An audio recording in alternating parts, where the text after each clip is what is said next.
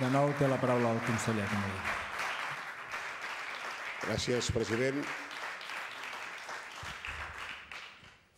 No sé per què, segurament sóc molt il·lús. Jo em pensava que parlaria del foc i no em parlaria dels seus problemes que tenen vostès i allà on busquen problemes on no n'hi han.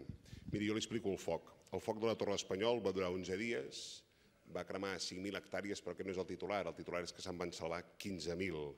Hi havia moments que hi treballaven més de 500 efectius treballant al foc i va conviure amb 467 incendis de vegetació a Catalunya, per tant, 59 incendis al dia que convivien amb el foc de Torre de l'Espanyol i entre el dia 23 de juny, la rebella de Sant Joan i el 7 de juliol vam tenir 941 incendis de vegetació, per tant 63 dia.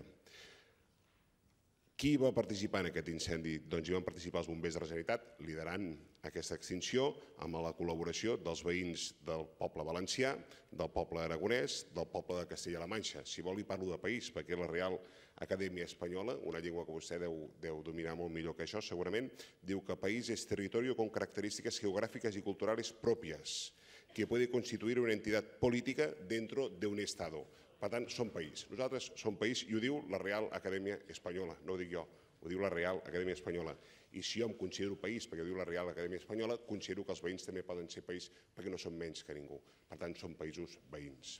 Li continuo. Qui va, qui va col·laborar en aquest incendi? Va col·laborar Bombers de la Generalitat, com li he dit, la UME, Gens Rurals, ADF, BRIF, Mossos d'Esquadra, SEM, Protecció Civil, Creu Roja, una eh, col·laboració amb els alcaldes i alcaldesses de la zona que va ser perfecte.